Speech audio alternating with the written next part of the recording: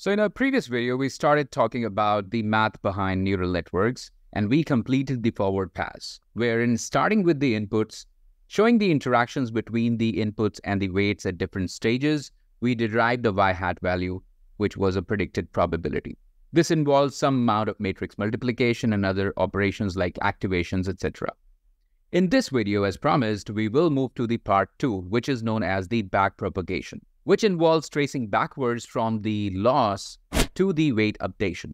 Because we want to explain these concepts to you in the simplest possible way, our focus would be to update one particular weight. Let's say this weight. How does this weight get updated as a result of what we observe as loss? That's going to be the focus. And once we understand that well, we will have a very good understanding of how the weights and biases get updated. So with that in mind, let's get started we have generated a prediction which is 0.95. Now 0.95 as a probability is very close to 1, but we still have to see if we can improvise this further. How do we improvise this? So now comes the concept of loss.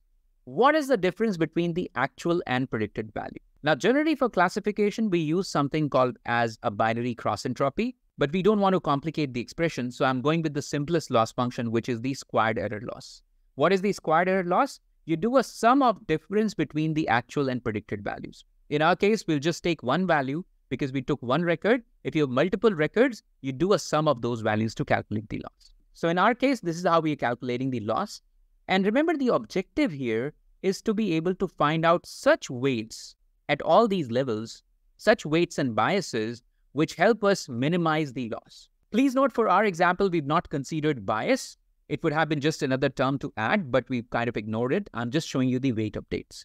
So we want to find out such weights which help us minimize the loss. And how do we update the weights? So the general expression for weight update is that the new weights will depend on the old weight minus a step size, which is an adjustment for the learning rate, a hyperparameter that we supply, and dou L by dou W, which is the rate of change of loss with respect to the change in weights. We're trying to control the loss by altering the weights.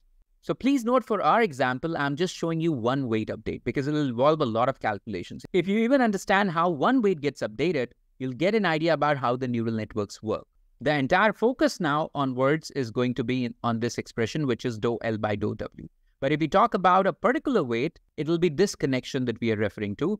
Do we know the old weight? Yes, we'll have to go back to the point where we started. This is the third weight. This is this third weight, which is 0.5. This is how it got initialized. Now, this is not the final weight. We have to, of course, look at updating it so that the loss can be minimized. Moving on, if we look at this expression, we can say that the loss depends on y hat because the equation of the loss itself has y hat in it. It depends on the difference between the actual and predicted values. Actual value is an actual value. We can't change it, but prediction is something that can be improvised. So we are saying loss depends on y hat. Let's keep going backwards from here and see what does y hat depend on. So y hat, if you realize, depends on z2. Why? Because this g of z2 is y hat. It is nothing but the sigmoid. So this y hat depends on z2. We are going backwards. That's why it is called backpropagation.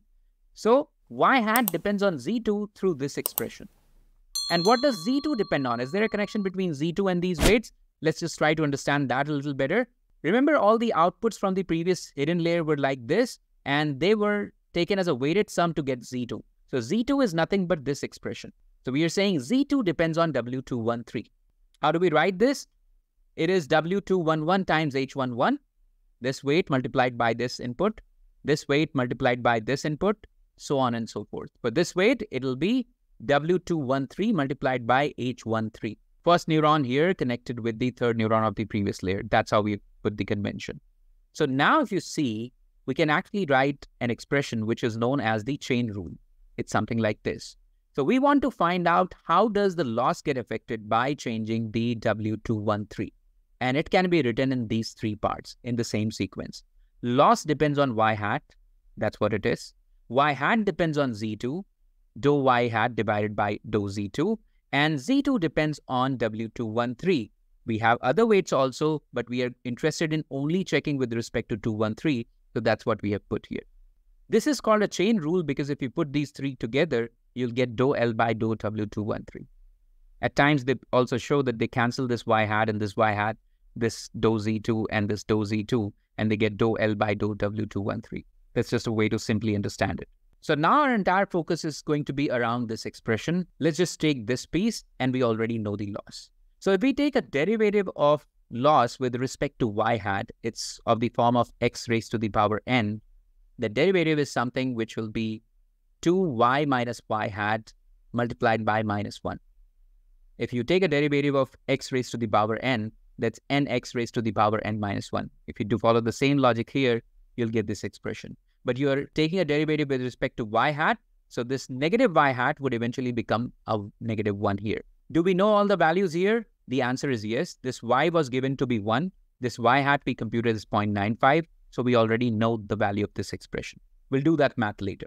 Let's move to the next part. Now, when you take a derivative of sigmoid, it is of this form. It's the sigmoid multiplied by 1 minus the sigmoid. You can check that. You can check some literature or search it yourself. This is how the formula for derivative of sigmoid is. Do we know the value of GZ2? Yes, that's the same as y hat actually, and that's 0.95. So if you plug the value here is 0.95 and 1 minus 0.95, you can do that calculation as well. Now comes the last piece. And if we take a derivative of this with respect to W213, all these terms other than this one here will become constant. Derivative of a constant is 0. If you have a variable multiplied by a constant, for now, this h13 for us would act like a constant when we are taking a partial derivative with respect to w213. So the derivative here is going to be h13. Okay, just an observation. These should have been dou, these signs like of partial derivative. That would be nicer, but it's okay. We can just leave it like this for the time being. And what is this h13? Do we already know this? Well, yes, we actually computed this when we got the output from the first activation. This is 2.1. So we know all the values. It's just that we have to plug these to those calculations that we saw earlier. Now let's put all the values here. So this is 2 times 1 minus 0.95 multiplied by negative 1. This is going to be negative 0.1. Again, this is going to be 0.95 times 1 minus 0.95. This is 0.0475. And H13 we just saw, this is 2.1. So we'll just put 2.1 here. So we know all these values. Now we can put these values here and we get to know what is dou L by dou W213. Let's just plug these values. This is negative 0.1 first expression. This is 0.0475 and this is 2.1.